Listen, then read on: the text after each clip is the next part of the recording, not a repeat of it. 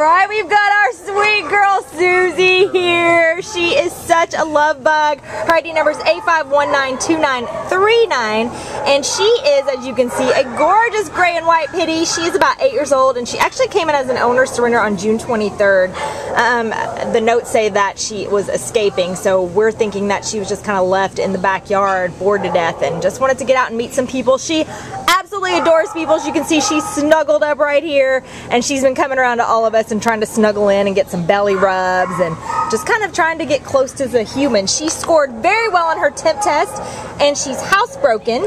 And as far as dogs go, she is all tolerant but assertive as far as her notes go. So we definitely know that she prefers humans and you know would love to be your only dog. She just wants all the attention and all the belly rubs. Um, and she is just a sweetheart as you can see. So come on down to the Baldwin Park shelter, meet our friend Siouxsie. She is wonderful and she would love to have a family. Right, Siouxsie?